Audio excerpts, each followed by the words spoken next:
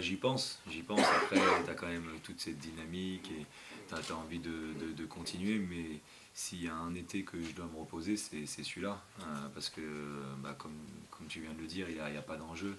Euh, c'est pas ça qui va nous qualifier pour les JO. Et, nous, en tant que basketteurs, euh, euh, la Coupe du Monde au foot, bah, nous, c'est les JO pour le basket.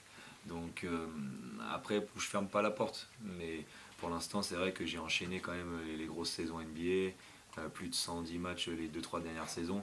Donc à un moment donné, il va falloir que, je fasse attention parce que j'ai pas envie d'avoir une, grosse blessure. Donc pour l'instant, je, vais dire, je, je, réfléchis et on verra comment ça se passe cette saison avec les Spurs. changer quelque chose à ton statut en NBA le fait que tu...